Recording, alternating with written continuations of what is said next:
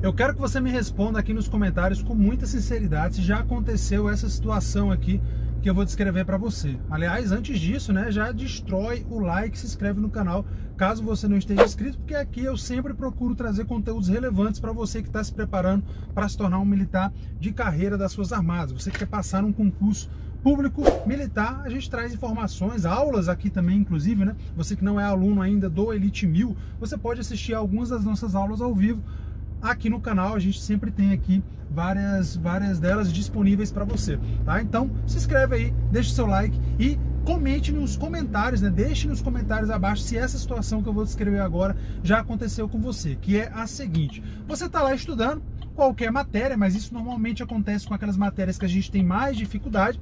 E aí você está lá estudando e aí de repente você percebe que há um minuto a 30 segundos, a 2 minutos, você não está entendendo absolutamente nada, você não sabe absolutamente nada do que está sendo falado. Porque você se pegou pensando no seu futuro, você se pegou pensando em você lá com fardado, você paraquedista, você guerreiro do céu, você comandos.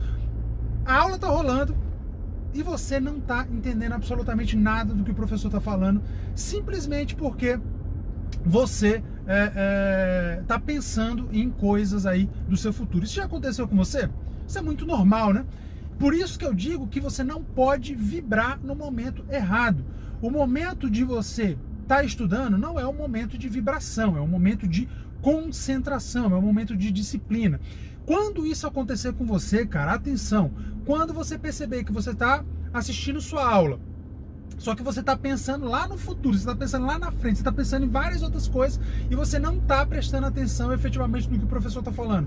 Cara, não se iluda, não se engane, não se sabote. O que é que você tem que fazer? Se você está assistindo uma videoaula, se é esse o caso, você tem que parar a sua videoaula e você tem que voltar até o momento onde você estava entendendo o que o professor estava falando. Se é uma leitura que você está fazendo, você tem que voltar até o ponto onde você estava entendendo. Por isso, inclusive, que quando você está né? E, e eu aplico isso nos meus estudos, dá muito certo. Quando você está estudando alguma coisa, lendo num, num PDF ou lendo numa apostila, num livro, é interessante que você leia em voz alta, leia de uma forma ativa, como se você estivesse explicando aquilo. Então, se você está lendo, falando, como se você estivesse numa conversa, explicando aquilo para alguém, eu acredito que fica muito mais fácil, isso funciona para mim, tá?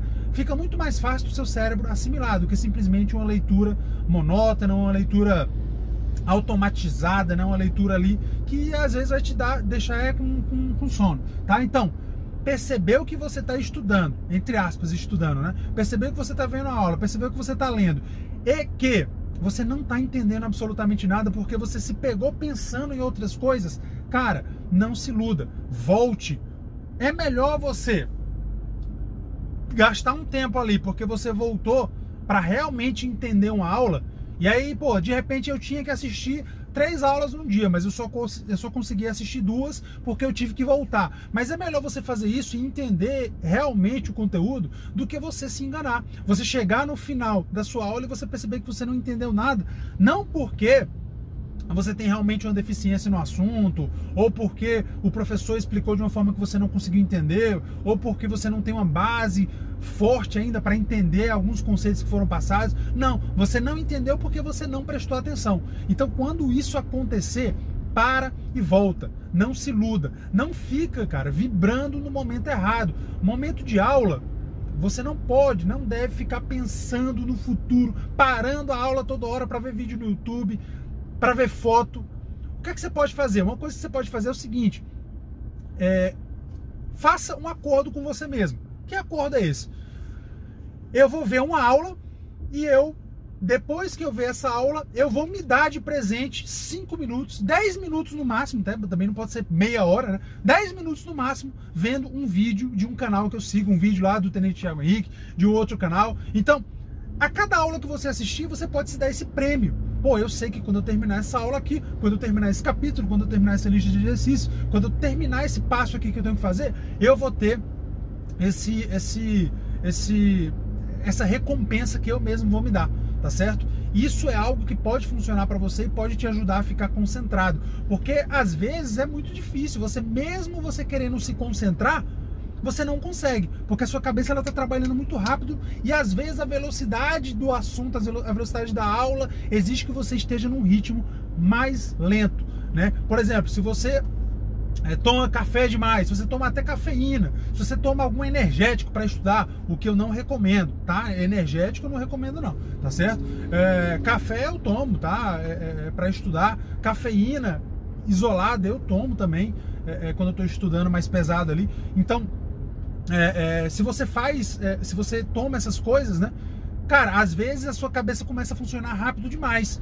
E aí se a aula exige uma velocidade mais lenta, né? Não, não é uma velocidade mais lenta, mas se ela exige que você esteja numa, num ritmo mais lento ali para poder entender, às vezes você não consegue. E às vezes você começa a pensar em várias outras coisas e a aula tá rolando e você não tá entendendo porra nenhuma. Tá? Então, quando isso acontecer, repito, né? eu tô sendo bem incisivo nesse ponto aqui.